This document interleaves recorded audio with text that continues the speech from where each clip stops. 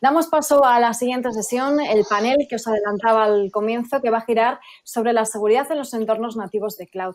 Como hemos explicado eh, y lo han mencionado Agustín y Simon, la transformación digital eh, es uno de los, el cloud es uno de los primeros pasos en la transformación digital de toda empresa, pero también es uno de los primeros eh, problemas que preocupan a los directivos de las organizaciones, especialmente por supuesto, en este nuevo escenario que nos toca vivir, donde dependemos prácticamente al 100% de ese tipo de entornos y nuestra prioridad pasa por securizar los datos y no perder eficiencia en el proceso.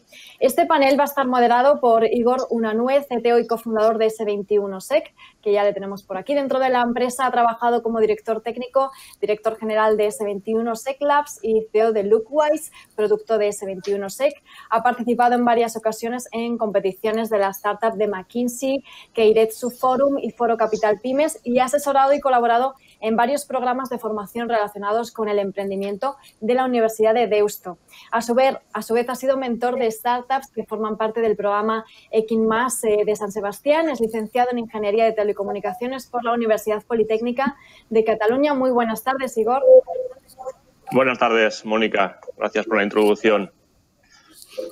Bueno, hoy pues nos toca hablar del... Sí para presentar a los, a los, ponentes y expertos que te van a acompañar y ya te dejo, Igor, todo tuyo. Gracias. Eh, contamos con David Groot, que es CTO de FireEye. Eh, David es reconocido por su experiencia en la respuesta ante incidentes, security operations, seguridad de la información, big data y threat intelligence. Ha trabajado en empresas como Augeo Software, McAfee, en diferentes roles de influencia y lleva desde 2016 trabajando como EMEA CTO en FireEye. Así que bienvenido.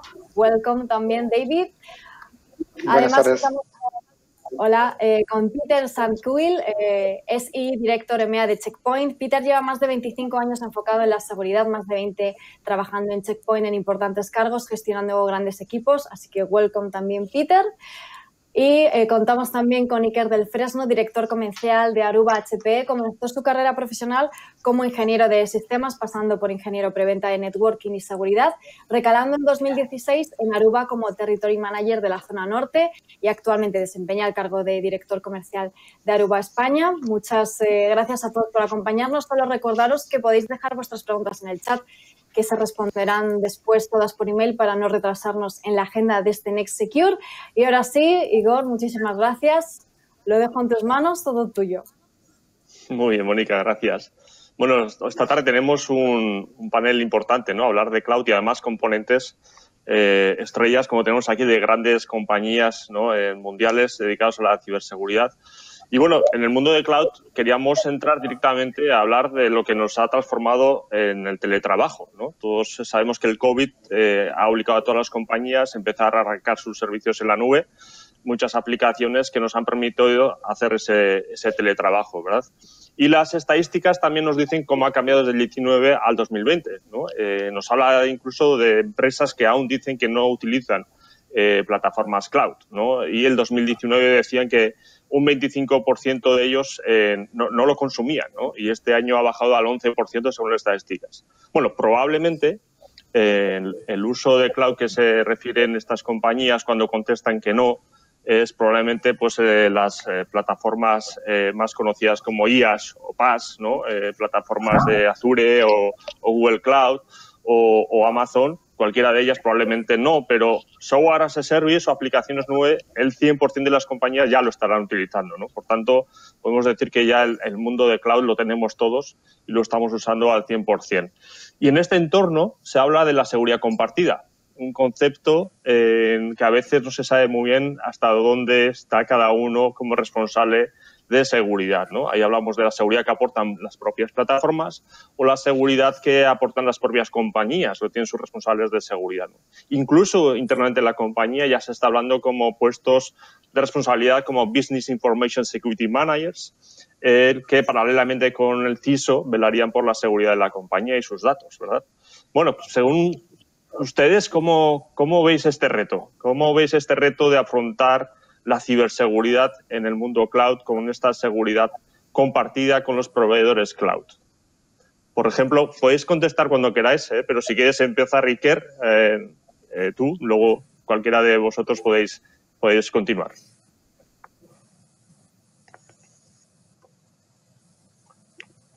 No te oímos, Iker. No sé si lo tienes en mute. ¿Puedes mirar, por favor? Perdonad, sí. Sí, eh, perdonad. ahora sí. Gracias. Eh, lo primero era un repaso al tsunami que ha supuesto eh, el teletrabajo en este país. ¿no? Hemos pasado de, de tener un instrumento que abarcaba el 7,5% de la población, más o menos, en 2019, a que, bueno, con esta situación eh, nos hayamos encontrado con un montón de gente que de, la noche a la mañana ha tenido que, eh, ir a casa y hacer un teletrabajo. Esto, esto ha supuesto, desde el punto de vista de amenazas y riesgos, una situación eh, realmente curiosa. La necesidad ha podido cualquier tipo de prevención y aunque todo el mundo ya está con sus horas de service, etcétera, ha tenido que trasladar a su, a su entorno doméstico una, una, una conectividad para poder para poder trabajar. Y esto realmente ha, sido un impacto y, un desafío para, para, la seguridad.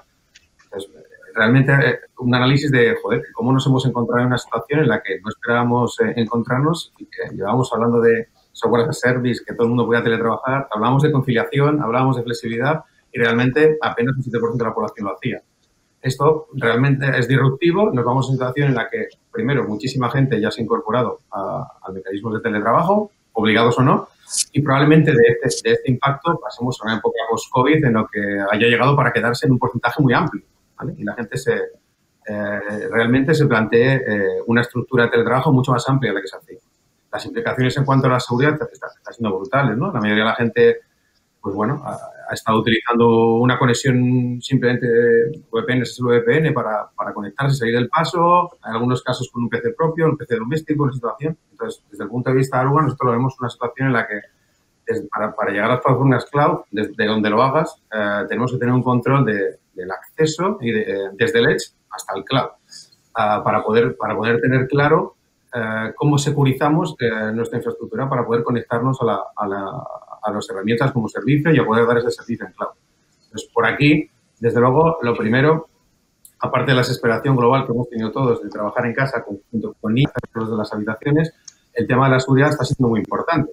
Eh, los problemas que ha habido de, de malware, más phishing, muchas más vulnerabilidades de eh, aplicaciones de colaboración, eh, que os voy a contar, aplicaciones de colaboración que han pasado de 30 millones de conexiones diarias de videoconferencias a 300 millones eh, durante el COVID, una muy conocida, con, con grandes problemas de seguridad, una solución que aparentemente no pretendía ser tan masiva, se ha convertido en tal y ha empezado a, a cambiar sus, su situación de seguridad en estas plataformas de seguridad de service. Entonces, desde nuestro punto de vista, eh, tenemos que plantearnos una situación pues, que ya veníamos comentando, que es el cero trust, ¿no? La, la, ciberseguridad ha crecido, los riesgos han crecido, y al final nuestro borde, nuestro frontera ya no es en ninguno de los casos ni la propia empresa, ni incluso mecanismos que, ya teníamos establecidos para trabajar fuera de ella. El borde se ha, llevado directamente, se ha extendido hasta el plato de a casa, en entornos que son domésticos, seguros, con, otro tipo de conectividad. Por lo tanto, nosotros entendemos que desde este punto de vista pues, hay que atacar la solución uh, entendiendo que hay que segurizar pues, desde, con cero atrás el riesgo desde tu borde. Y tu borde no deja de ser otro que eh, la propia casa. Pues hay que, hay que hacer un, identificar los diferentes grados de, de sensibilidad de los datos de, de, la empresa y, bueno, y otorgar de servicios de acceso los necesarios para cada uno de los empleados. No vas a dar permisos de más ni de menos, sino funciona su perfil para reducir las vulnerabilidades, tanto a nivel externo como ataques internos, etc.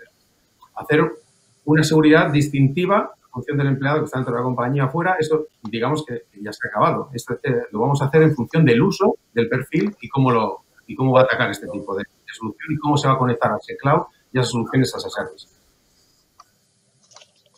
Mm. Muchas gracias, Iker.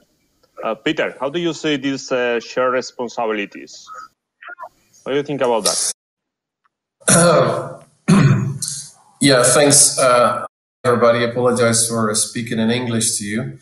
Uh, one of the key terms that we see that is being used in uh, when people speak about public clouds is uh, shared responsibility. And I, for one, started challenging that with my customers a while back, where I said, look, it should really not be called shared responsibility because sharing means you have something in common that you will both be uh, spending time and attention to.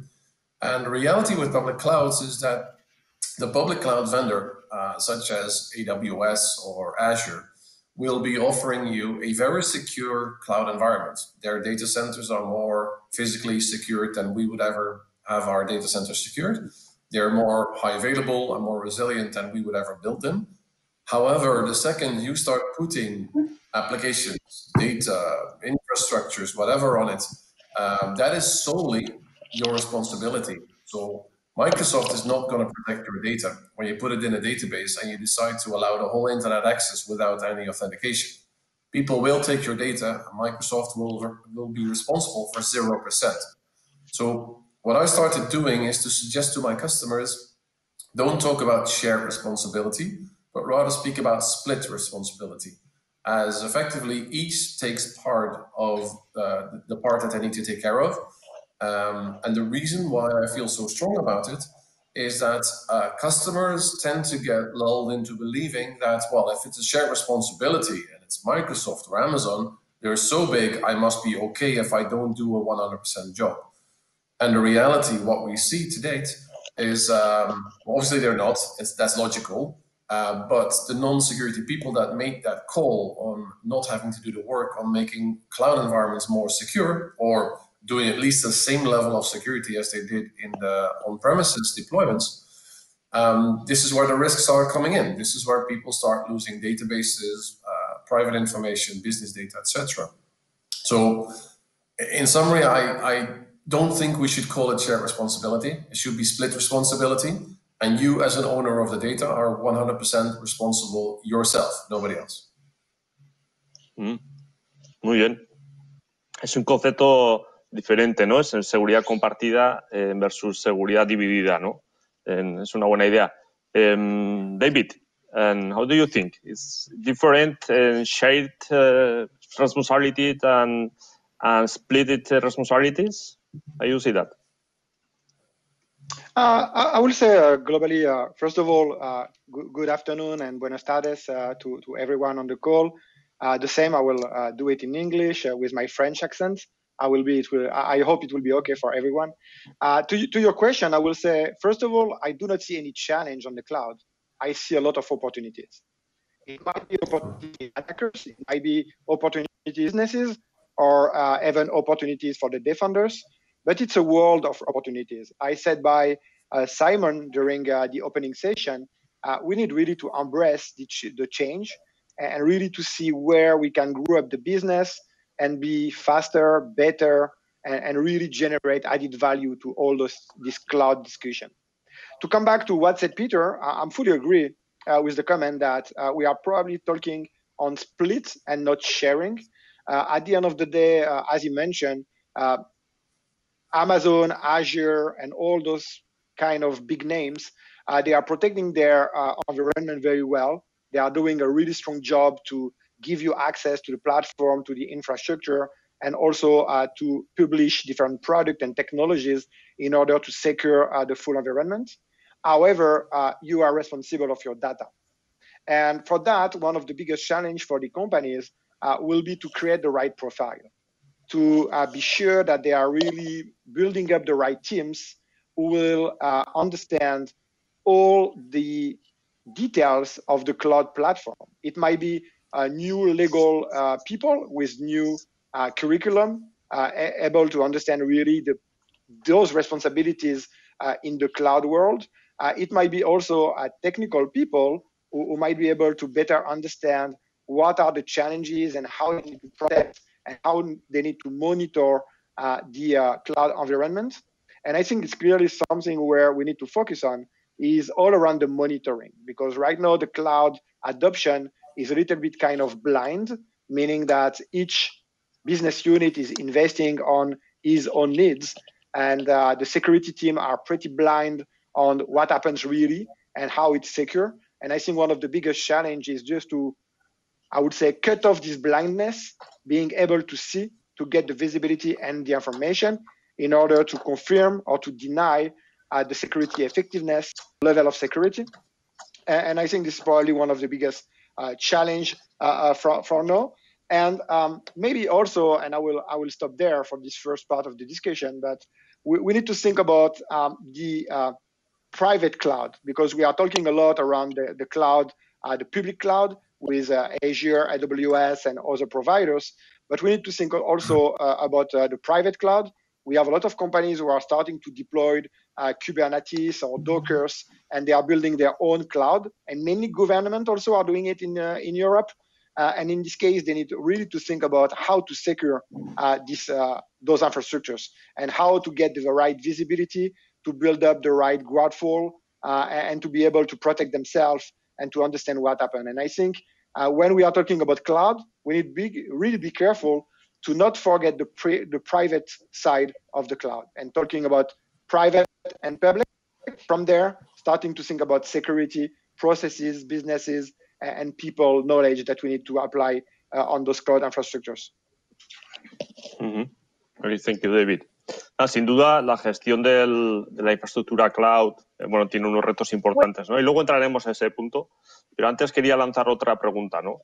El gasto en seguridad ha ido creciendo enormemente y, todos los informes eh, nos dicen que los, presupuestos de las compañías ¿no? llegan a ser un 10% ¿no? En, en, en, todo lo que es el, el cloud. ¿no? Y el 2020 todo esto va a subir, ¿no? más del 55% ya dicen que gastan ¿no? todo ese dinero en, la nube, ¿no? en la seguridad de la nube. Y esto nos lleva a una pregunta, ¿no? Tanto consumo de ciberseguridad en la nube también nos exige profesionales de ciberseguridad en nube y esto está cada vez más difícil. ¿no? Los profesionales de este sector están en auge desde el punto de vista de que están siendo contratados masivamente y no son tan fáciles de encontrar. ¿no? Eh, eso hace que encarezca y dificulte ¿no? el contratar las personas eh, con, este, con este perfil, con lo que las compañías tienen que decidir si buscarse una persona fuera o formar una persona interna dentro de la compañía en, todo lo que conlleva eh, tanto la ciberseguridad como otros conceptos de la nube ¿no? para, la, para su gestión y mantenimiento. ¿Qué opináis sobre este reto? ¿Cómo deberían afrontar las compañías hoy en día todo este reto de tener profesionales eh, especializados en cloud? cualquiera de vosotros, eh, y que si queremos seguir el mismo orden, como queráis. Eh, bueno, pues por romper un poco, eh, al final no solamente es que la estructura del profesional de la ciberseguridad es, una, es un perfil súper especializado, sino que la necesidad, ya estamos en un entorno en general de, tecnológico en el que requerimos ponernos al día constantemente, pero este tipo de perfil aún lo es más. Las amenazas son cada vez más rápidas, tiene que estar mucho más al día, la evolución de, de las plataformas también lo es, con lo cual, el tener la necesidad de, tener unos profesionales que estén tan constantemente eh, aprendiendo, primero no es fácil encontrarlo, por eso los perfiles son tan, eh, tan caros y, no es fácil mantenerlo incluso ni retenerlo la propia compañía, porque los retos para, para las compañías en ese aspecto pues, pues también vienen por la parte de retención de, retención de talento, porque realmente es algo muy demandado. Y aquí, bueno, aquí viene un poco eh, las ventajas que, que servicios como, como las empresas de, de S21, con empresas de S21 se puede dar a la, a diferentes compañías, ¿no? Y esa implicación en ese outsourcing de IT eh, para servicios de ciberseguridad que se, antoja imprescindible en determinados segmentos. Al final, evidentemente, tú tienes que tener como compañía un profesional que sea capaz de, regular y gestionar estos servicios, pero por detrás tienes que tener unos servicios tan amplios y tienes que estar tan pendiente de tantas cosas que se hace imposible trabajar en este ámbito sin tener detrás el apoyo de un, de outsourcing que te, que te que identifique un poco las necesidades, que evolucione más rápido que tú, que pueda cambiar incluso ese personal eh, que no siempre eh, sea el mismo y que se haga cargo de esa parte. Para mí, yo creo que, y cada vez más eh, las empresas tienen un, perfil tecnológico de ciberseguridad limitado y van incorporando un sourcing de servicios de ciberseguridad que les puedan mantener en esa y que puedan hacer que se enfoquen en su propio negocio cada una de las compañías. No olvidemos que cada una se dedica a diferentes ámbitos y que puedan tener detrás el respaldo eh, pues, de, pues, de, un SOC, de una solución, de un servicio, eh, de un sourcing de, de, recursos para poder eh, tener eh, estos recursos a, a, su disposición con esa evolución constante que necesita el mercado. ¿verdad? Mm. Bien, Peter. Yes. What do you think about this uh, question uh, about the, this problem and hiding these professionals in the cloud that now is more and more difficult. How do you think that the organization need to um, need to work with this issue? They need to uh, train their own people, and or they need to hire external people, even if they are very expensive. So that's a, a, a broad question. Um, bueno, esta es una cuestión que a lo mejor entramos en contacto eh, que es una cloud expert y tendremos que llevar a lo, los movimientos a las, a las nubes. Tenemos que pensar en qué vamos a construir en la, en la nube y lo que será mm, tendrá mejores ventajas. Y lo que vamos a invertir, esta es la primera medida. Y lo que nos van a dar, estoy de acuerdo con esto no es solamente en públicas, también en las privadas. Yo veo aquí un gran reto es esta seguridad a lo mejor no está consciente de para dónde las personas van a las nubes Security, they don't apply security, they're just looking for usability and speed of delivery. And because of that, they will surpass existing network security departments, which is true. We, we see it happening all the time. Um, if our security departments internally have not yet waken up and realized that cloud is real and we, do, we don't have enough knowledge, I would consider that to already be late as uh, these cloud technologies are going to enter or have already entered into your organization, whether it is public or private, and they introduce new attack vectors that we didn't think of before. For instance, identity will become much more important, and the fact that the whole world could, could access your um, your stored data also makes uh, the, the, necessity to be much more compliant uh, very interesting. So you want much more than in the past when you had everything hidden behind your perimeter gateway.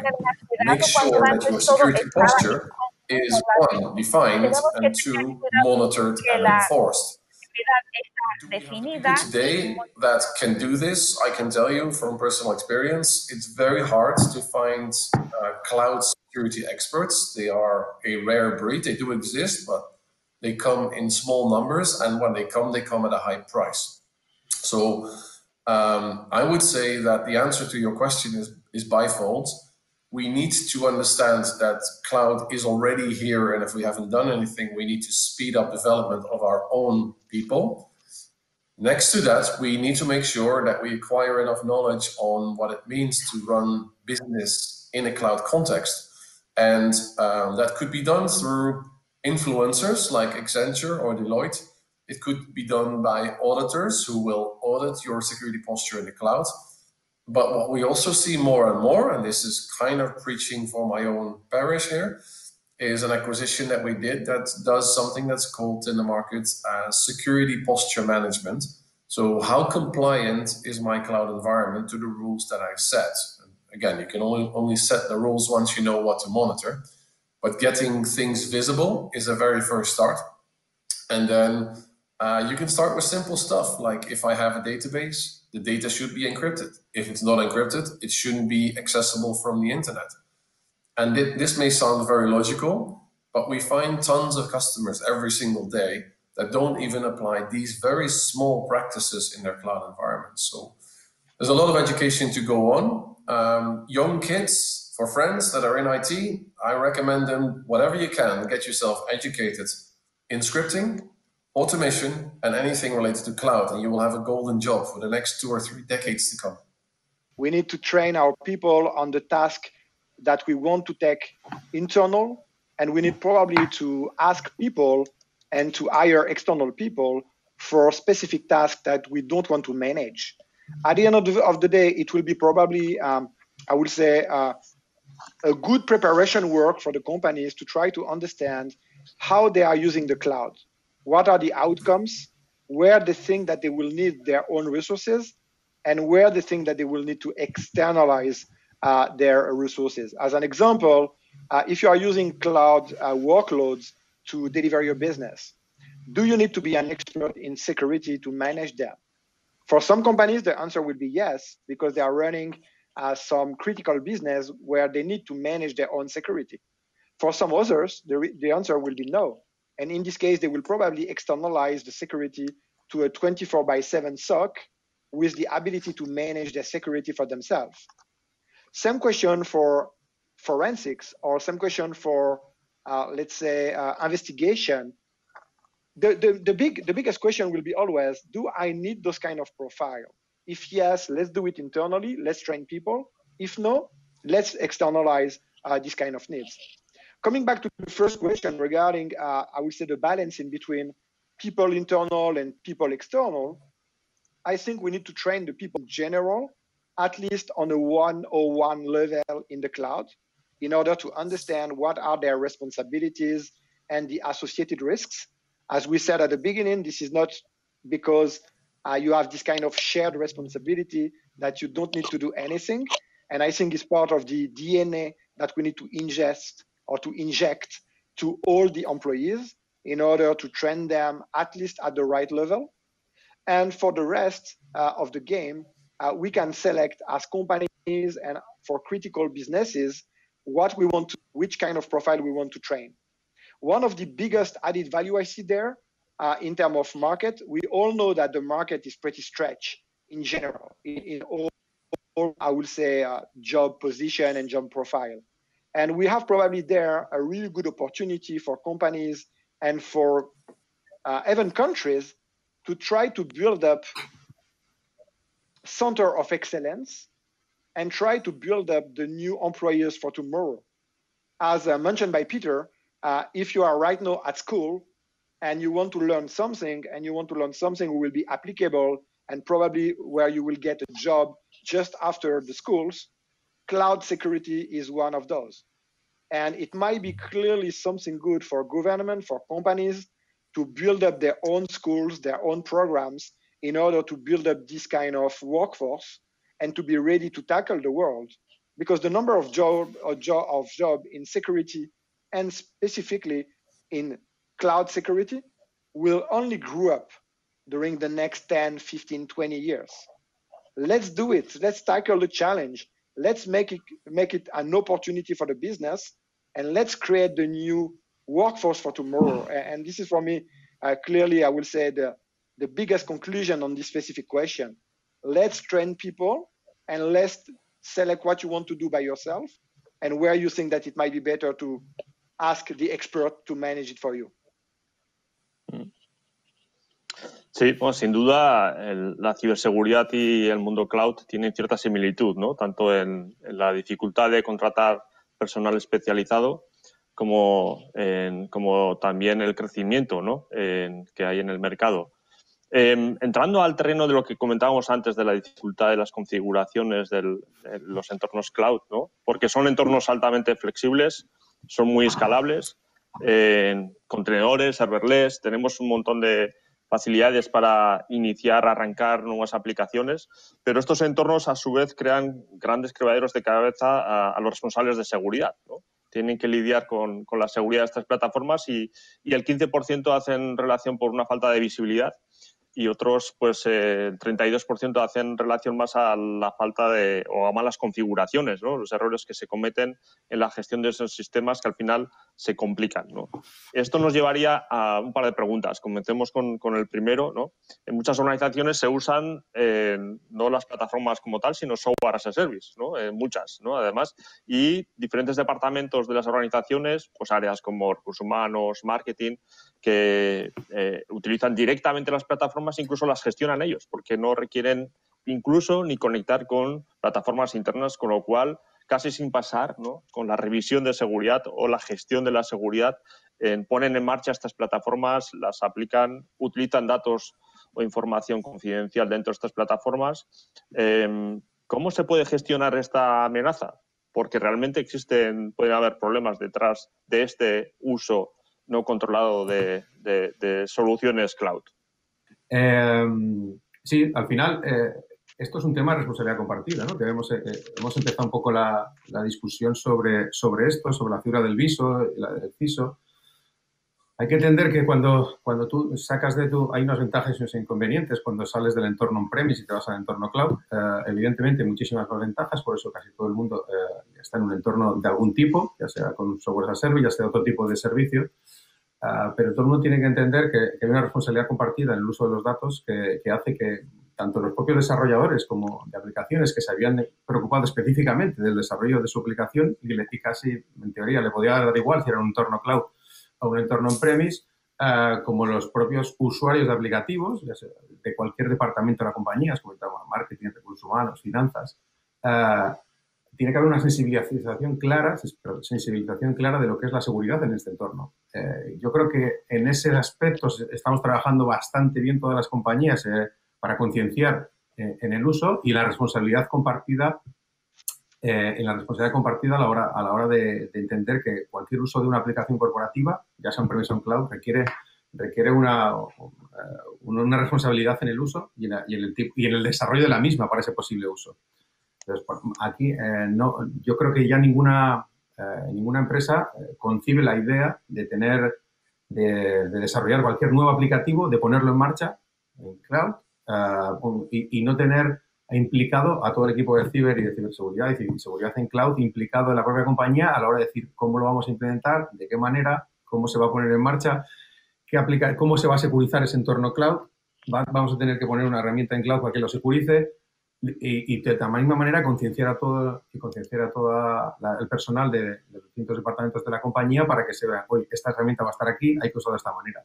Pues cada vez más en todas las áreas de la compañía, a la hora de, tener un nuevo proyecto, siempre está la validación del Departamento de Seguridad de cualquier, de cualquier eh, nuevo proyecto que estas compañías vayan a implementar. Y esto es algo muy positivo.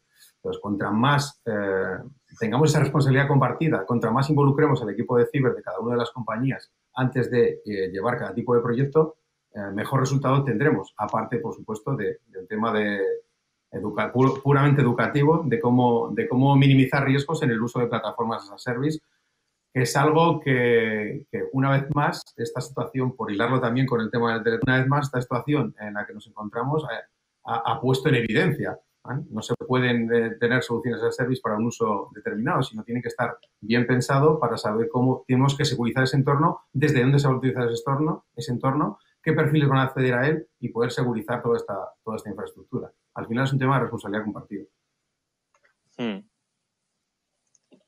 Peter, about this risk that we can detect when these departments, these areas, different areas from IT um, control their own software as a service applications that they don't have control from the security controls by the company. So how do you think that we? One of the good things that the cloud has brought us is the fact that we have um, uh, the ability to use an API. And in current network designs, people have accepted the usage of API as common and accepted. And the whole world kind of uh, agreed on the fact that if we do it uh, using a RESTful API, we have a common standard. So with that, we see that orchestrated processes are being built and that uh, no vendor or no technology or function is a standalone siloed solution anymore, but rather everything is a cog in a larger machine. Similar thing with uh, software as a service. So um, Office 365 is, or Microsoft 365 is a, is a good example here.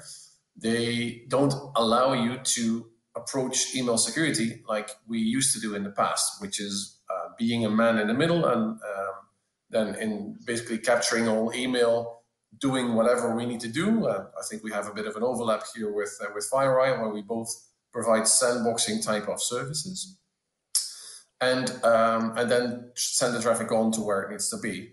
What cloud vendors realized, or, or SaaS vendors realized, is they are good at what they offer, which is functionality.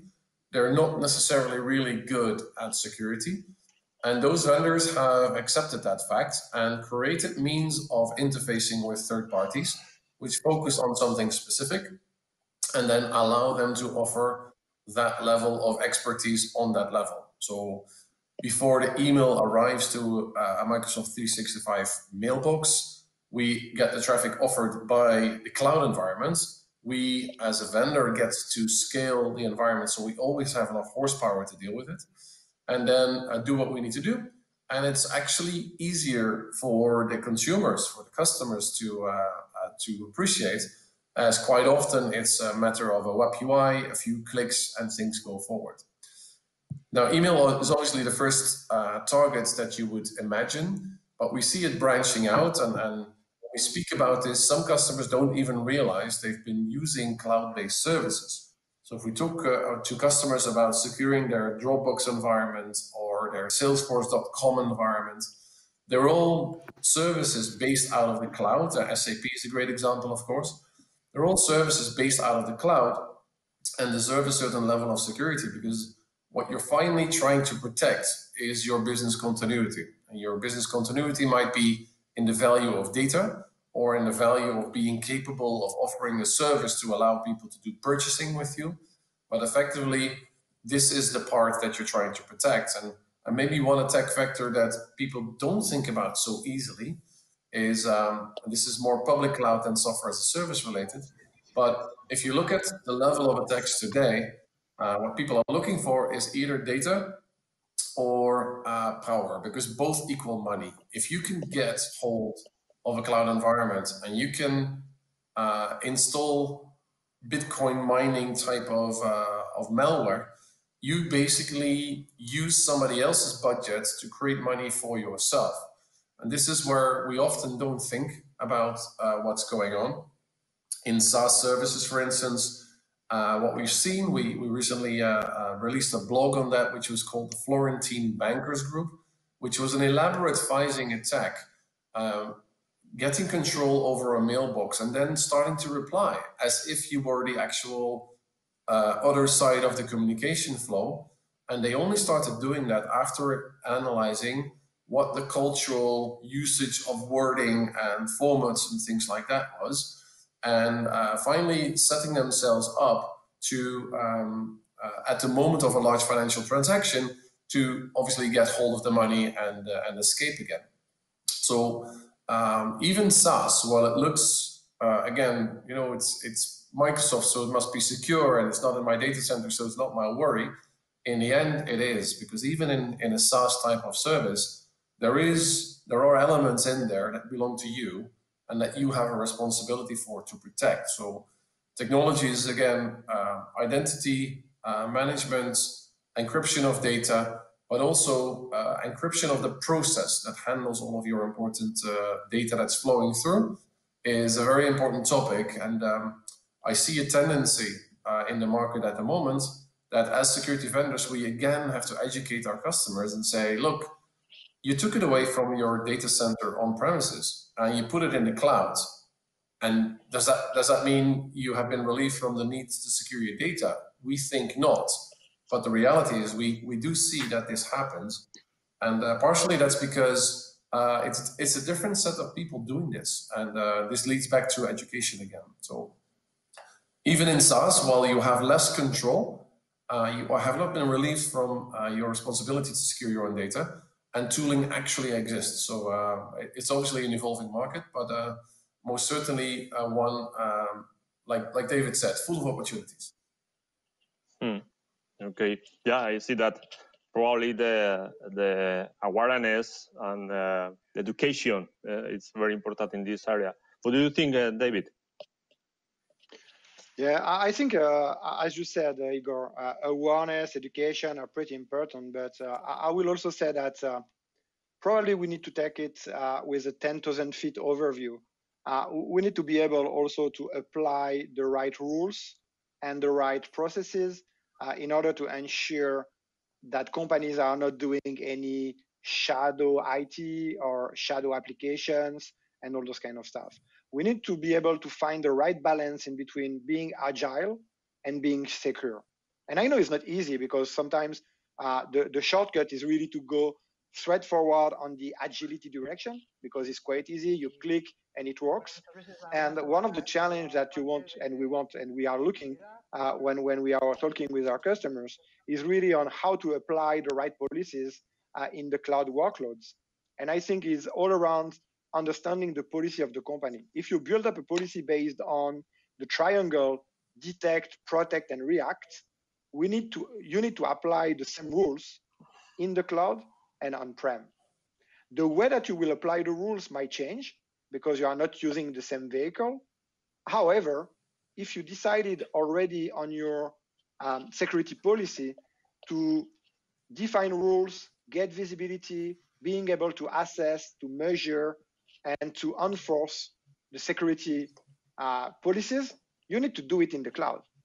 You need to be able to equip yourself in order to get the full visibility and understand what has been deployed, how it has been deployed, and which type of rules are applied. And this is what we did at FireEye when we acquired uh, Cloudvisory, uh, with the idea of being able to get the full visibility and to drive compliance and enforcement on the cloud platform.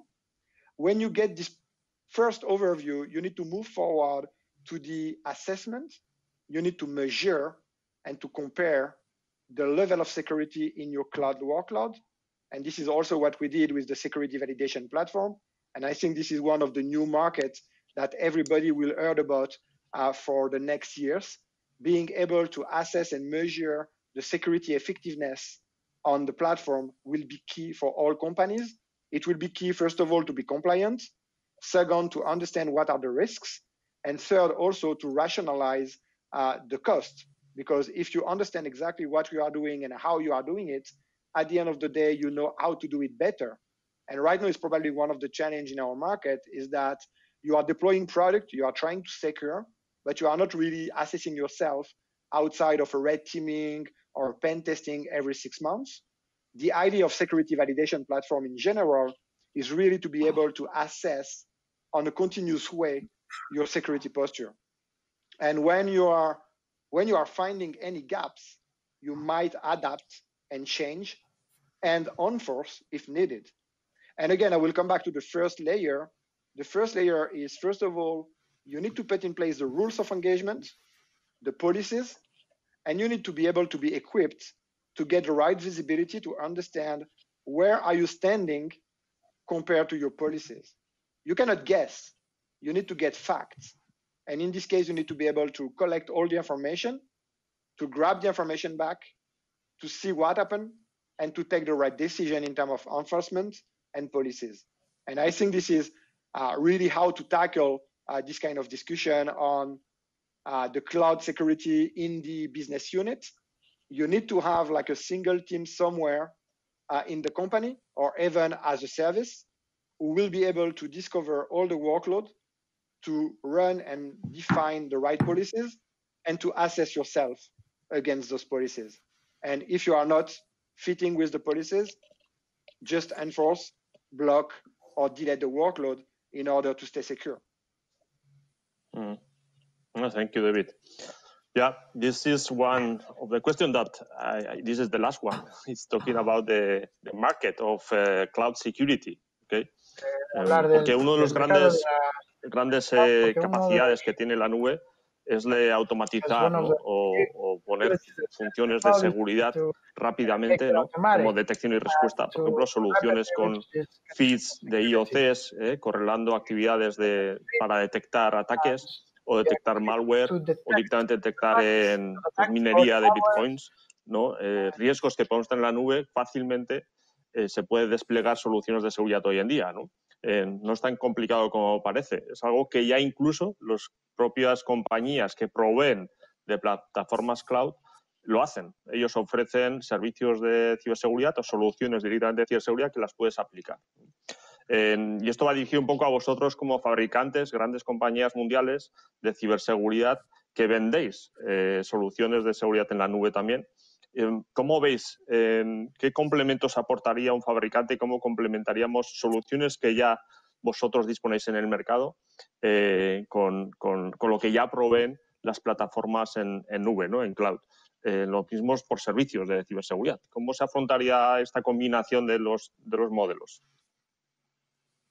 ¿Y qué tú opinas? Bueno, desde luego, sí, sí. Desde luego, desde el punto, de, desde nuestro punto de vista, eh, es fundamental y es nuestra estrategia, el Edge to Cloud de Aruba, el ser capaz de, tener el, el, el, cero trust desde, desde el Edge hasta el cloud y ser capaz de orquestarlo y automatizarlo todo. Para nosotros el SOAR eh, es nuestro ABC, Security Orchestration Automation and Response es absolutamente eh, fundamental y, y, esto somos, somos capaces de hacerlo para, para darle un, servicio global de una visibilidad y una, eh, una orquestación independientemente de las diferentes eh, plataformas, tanto en premise como en cloud, que dispone el cliente de seguridad, que cada vez va siendo una herramienta más compleja, con, teniendo que atacar ambos mundos. Imaginemos un, eh, un usuario corporativo que se conecta a través de su conexión VPN del fabricante X, eh, bueno, pues hace acceso remoto, tiene esa primera autenticación de usuario de máquina, ya estamos orquestando esa autenticación, Hay este elemento ya lo está visualizando. imaginemos que hacemos una, validación mediante NPS o, hacemos una validación de, multifactor en Azure, por ejemplo, por, tocar el tema cloud. notificamos al SIEM si el endpoint eh, es corporativo, si no es corporativo, y este será de un fabricante tercero que puede estar en cloud premise y esa notificación la tenemos y orquestada. Uh, autorizamos uh, a este um, usuario en función del estado que nos marca el agente, tiene un agente instalado o no lo tiene, puede ser FireEye o puede ser otro fabricante, y vemos el estado de ese agente y con, con ese resultado proseguimos en, esa, en ese Edge to Cloud y decidimos, bueno, pues abrir un ticket en, en una herramienta de, de ticketing para que, para que haya una provisión de ese agente.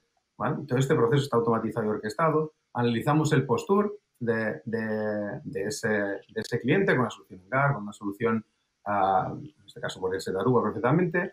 Con ese, con ese, con ese posture, pues notificamos de nuevo al eh, si el endpoint eh, tiene parches, no tiene parches, está actualizado, qué situación tiene eh, en función de lo que nos ha dado. La verificación se queda ahí y a partir de ahí hacemos unos eventos de, de seguridad y notificación diferentes, pues tantos a la asignación de políticas de seguridad a ese propio acceso VPN del fabricante que sea, como esa asignación de roles de acceso en los propios eh, firewalls del perímetro o firewalls internos o donde se encuentren aquellos firewalls porque de, checkpoint, por ejemplo, que, podrían ser.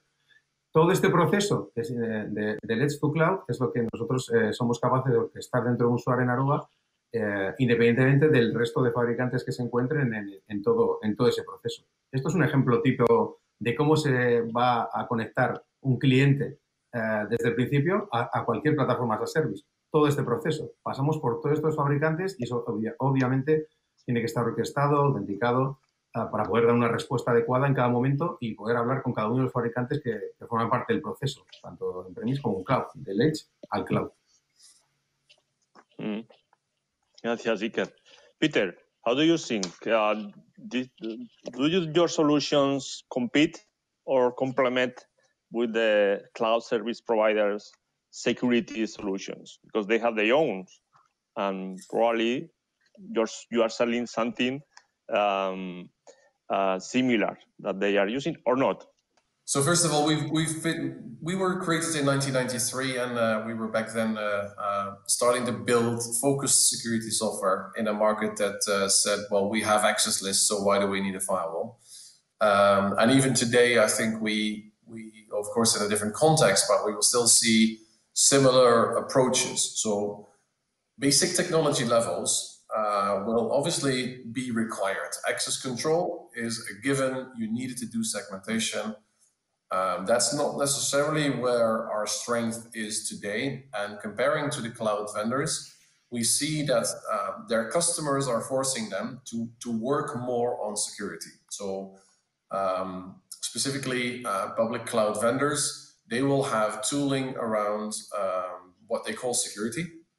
Uh, security, however, is a very big umbrella name and can capture a lot of elements inside. So it could be a configuration set, it could be appropriate routing, it could be appropriate sizing or versioning or things like that. And quite often, a lot of the security tooling that we see in public clouds is uh, is based around that. So an ability to provide logging, an ability to provide uh, an inventory, and to see how you match up.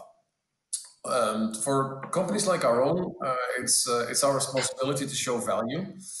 Um, the best thing I can do to technical people to revert them to is ask them, okay, come up with a third party that says who uh, has assessed your security quality. So not the speed or the price or the usability, but the security quality. Um, this is done by a few third parties outside there in the market, and, and, we happen to perform well in that. But secondary, which is maybe even more important, is I know few customers that focus on one cloud vendor only and will continue to do so in the future. So the future for every single customer out there is going to be a at least hybrid cloud environment, so something on premises and something in the public cloud, but more probably a multi cloud environment where uh, you have cloud technology in the local network, but you will also have multiple types of public cloud offerings that are coming your way. And here is where the big differentiator will come in, as no single public cloud vendor or private cloud vendor is going to offer you a security tool that encompasses everything that you're trying to do. And with all of the complexities that we already see in trying to, to fix everything together, because the APIs are great, but they're different in every single cloud and in every single application and in the speed of which things are changing, you basically don't have the time to figure it out. So our strength is going to be, on one hand, based on the threat intelligence that we can offer, so the ability to monitor over hundreds of thousands of customers what's going on on uh, on a security level and offer that back to customers and uh, address any shape or form or design that customers will be making using cloud technology, whether it's public or private, and set them down into a driver's seat that says, I can roll out a consistent security policy and I will get back consistent security information that allow me to act whenever I need it. Obviously, we need to amend that with the appropriate tooling. Uh, and here again, um, security posture management, um, and I'll name the examples again, Azure and, uh, and AWS, they are really, really different. There's no way you can create a policy like uh, a CISO would like to that says, here's our approach to public clouds, make sure it's applied. If you have to use every native tooling in order to find out, you will spend a lot of time and work on trying to get it done. Whereas third party tooling could uh, put you in a driver's seat that says, I can roll this out and somebody else is taking care of this for me. So uh, usability is going to be uh, a key factor here as well for customers to find out. And more and more, we see that happening where people initially want to get started in the cloud and then they figure out, I need to do more. I need to do more. I need to have appropriate technology, just like I did in my physical network in the past. And um, uh, it's going to be a balance, obviously, and you want to weigh the investment versus the, um, the, the, the, the elements that you're trying to protect. And that's something that we, we do a lot with customers. We try to do ROI calculations, try and figure out uh, what you need to do. I feel the big benefit of being a software organization like Check Point is uh, we can be a native fit into an environment that's built on software-defined networking, which is which is the basis for any cloud technology. That says we can grow if we need to, but we can also shrink if we need to. So you're really helping customers transition from an ownership model to a consumption-based model. And that's truly important when you have this conversation. Why would I want to consume security? I don't want to buy a big gateway. That's fine. You actually don't have to. We can provide just the right amount that you need right here.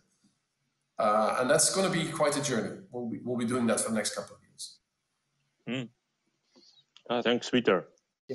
Um, David, um, about Peter said that, uh, of course, the security solutions that the cloud vendors offers is not enough. We need to complement probably. Uh, you have your own solutions uh, that uh, are based on cloud, and I think that uh, combine perfectly with other security solutions that uh, the cloud provider can can give us. And how do you combine this, or do you compete, as I asked before, uh, Peter? I would say we we some sometimes we, we might compete. Uh, sometimes we might we might. It's really depend. And I will try to take an example uh, I hope it will be fully understood by uh, by everybody. But uh, I will take a, a French example. you can buy a baguette, a bread, in the supermarket or in the bakery. At the end of the day, you are buying the baguette, but the quality and the expertise will be different. And I think this is where uh, FireEye uh, will, will bring the added value. We are a security provider by DNA. We are working on security 24 by 7. It's our job. Our job is to be agnostic to understand all type of clouds and to be able to provide the right level of visibility, assessment, security, and even to help customers during the forensics and investigation phases. And, and I think this is the biggest differences between uh, the cloud provider and the security provider. Uh, as we are at FireEye, uh, we are really the expert on the subject. we are working on the security, uh, as I said, on the 24 by 7 basis. And this is clearly where we are giving the most of the added value to our customers. Last but not least, and, uh, and um, it has been said uh, just before, um, we need to be agnostic. You know, I, know some customers who are using only one cloud, but in general, uh, you have like a several cloud uh, workload, internal, external, and even uh, even uh, I would say in-house built cloud. And you need to get a full visibility and a full understanding all over all those cloud workloads. And this is where we will bring a lot of added value. And I will say just to conclude, because I'm conscious that we are running out of time right now, but we, we, are expert in security, and this is probably where uh, we are bringing the best, uh, the biggest difference. We know what happened in the field. We know the reality uh, during investigation, and this is how we learn how to protect our customers. Mm. Yes, thank you, David. Oh, thank you, three of us. Gracias a los tres por estar en esta sesión. Bueno, eh, ya hemos estado un rato hablando y ha sido muy interesante hablar del entorno cloud. Gracias. Muchísimas Gracias a vosotros, gracias Igor, David, Peter e Iker por vuestro interesante panel sobre cloud, que no tengo duda de que los, los asistentes han disfrutado.